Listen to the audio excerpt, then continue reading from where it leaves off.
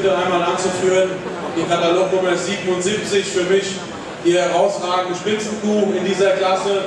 Eine Kuh, die ihr sofort ins Auge fällt durch ihre Ausstrahlung, durch ihre Ringpräsenz, durch ihren Milchcharakter, durch ihr super feines, klares Skelett. Sie hat genügend Brustbreite, sie ist schön tief, sie ist schön offen in der Rippe, sie hat eine sehr schöne, einen sehr schönen Rippenabstand, eine sehr schöne Rippenwölbung, sie ist sehr schön gespannt in der Oberlinie, sie hat ein sehr gut gelagertes Becken und mit sehr flachen Knochen ausgestattet im Sprunggelenk.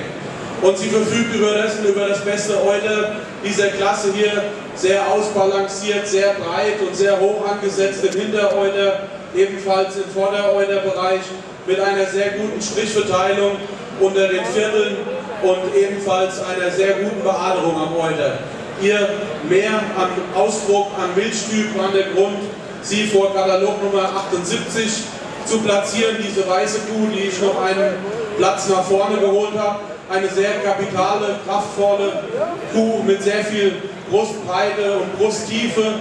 Und sie hat einen doch höheren Euterboden und vor allen Dingen mehr Hintereuterhöhe und Hintereuterbreite als diese dunkelrote Kuh, Katalog Nummer 84.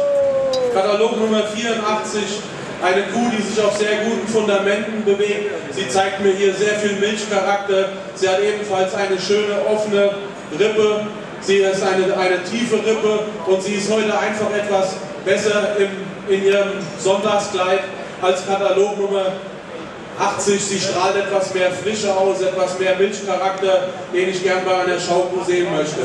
Katalog Nummer 80 aufgrund des Mehrkörpers eine kraftvolle Kuh mit einem sehr festen, sehr guten Mittelstück, ein sehr gutes Becken, Nierenpartie und sie läuft aufgrund des, des höheren Euterbodens und der Mehrbeaderung im Euter vor der Katalognummer 75.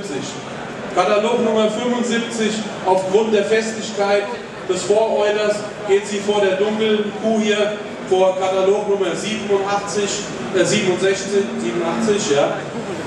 Die 87, diese dunkelrote Kuh, aufgrund ihrer Geschlossenheit im Körper, der besseren Beckenlage und der etwas mehr Körpertiefe vor Katalognummer 79 und Katalognummer 79 aufgrund des festeren Vordereuters und vor allen Dingen der Strichlänge vor Katalognummer 85 und Katalognummer 85 aufgrund von mehr Milchtyp heute vor Katalognummer 83, die diese Klasse Dauerleistungskühe Rotbund abschließt. Vielen Dank und ich darf um einen herzlichen Applaus für die Beschicker bitten. Dankeschön.